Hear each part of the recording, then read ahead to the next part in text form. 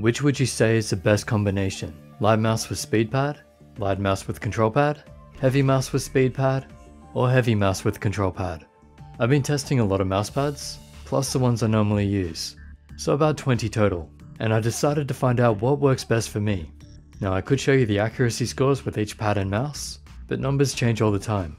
It depends on who you play, how you're playing, your connection, lots of factors. We can hit better accuracy against people who don't dodge, or when players are having bad days in games. That's something I keep in mind for my reviews. Over 20 years in Quake means I've tried a lot of stuff, and because Quake is a stale game, it's the same people over and over. I know how good everyone is, and I know when they're having good or bad days, and I know when I'm just not playing well. What does that mean? Well, the problem with testing products is the amount of variables. How can you actually tell if you're aiming better with a certain mouse, or just having a good day, or you're playing weaker opponents? Aim trainers doesn't really give you the same sort of pressure, so I haven't found that's reliable for actually testing your aim. There's something about playing against other people, especially when they're just as good as you, if not better, that really pushes you to your limit. And if you're playing a game where you're playing new people every time, it's almost impossible to know, and a lot of games don't really push your aim in the way that Quake does. Clan Arena is a battle focused mode, and that's what I test products in. We start with all weapons, full health, in rounds, and see who aims and dodges best. And with all that testing on all these pads, I narrowed down my choices to 4. Then down to 2. Then to this final one. I wasn't even thinking about the surface, I was just choosing which pad I played best on. And I was switching pads all the time to make sure it wasn't placebo. Remember, these pads were just randoms, no bias at all. My job was to find out which one I played best on, and this is it, the Xtrfy GPZ1 Zy's Damage. I named it that because I kept getting heaps of damage with it. My aim was definitely better on this pad than all the others. But after I chose this material, that extra I've now made into a pad, I started thinking, why did I choose it? What's so good about it? Honestly, I don't know exactly, but if I had to guess, it's because it seems like it's a speed and control pad in one, without being a hybrid. It's more on the control side, but the control is really good on small movements, while still allowing you to move the mouse freely when doing bigger swipes. I relate it to kind of like having Mouse Accel in pad form. So it's a control pad, but it becomes a speed pad if you move it quickly. Anyway, before this becomes a complete advert for the GPZ1, although this does count as my video for the pad, hitting two enemies with one rail here, let's go back on point. Light or heavy mouse, control or speed pad. My answer would be control pad with a light mouse.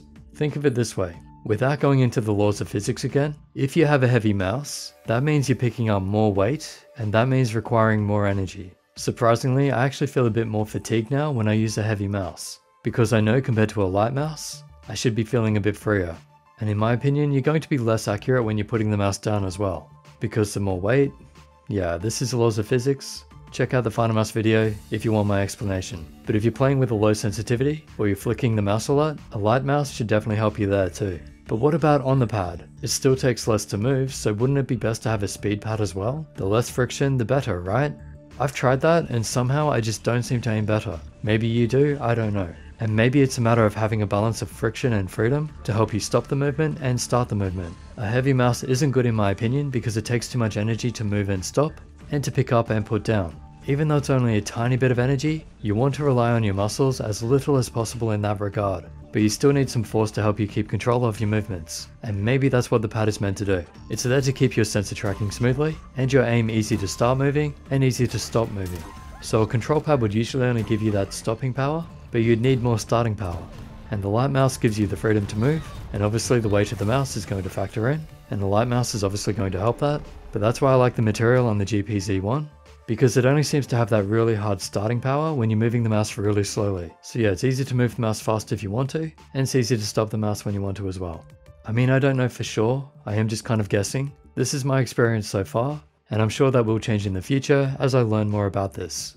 So yeah, I'm very happy with the Xtrfy MZ1 mouse, with the Xtrfy GPZ1 pad, my mouse and my pad. And before someone claims bias, no, it's preference. I designed a shape that would suit me and help me aim, and I chose the fabric that actually helped me aim best with it. So yeah, that's easily the best combo for me. But what's the best combination for you?